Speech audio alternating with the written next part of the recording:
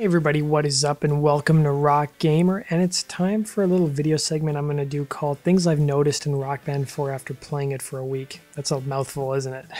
So let's talk about the first thing I've noticed about Rock Band 4 is that it no longer tells you the amount of songs you own. If you played Rock Band 3, you could go to the top of the screen in the songs, song selection menu and say, you know, 1300 songs out of 1350 showing or something like that.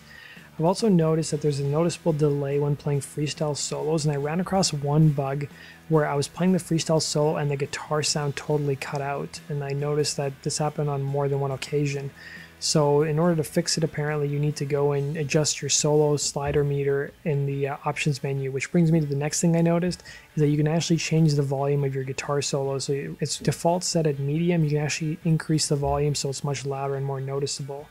I've also noticed, speaking of delays, that there's a pretty noticeable delay when singing vocals in the game. Um, so one thing I've really tried to do in order to enhance the experience is actually lower the microphone volume. It's a lot less noticeable since you can't hear yourself. I've also noticed too that when you finish a song, no longer is there a score breakdown like there was in Rock Band 3. In Rock Band 3 would break down each section of the song and show you what you scored in each particular section of the song. Unfortunately, that's different this time around.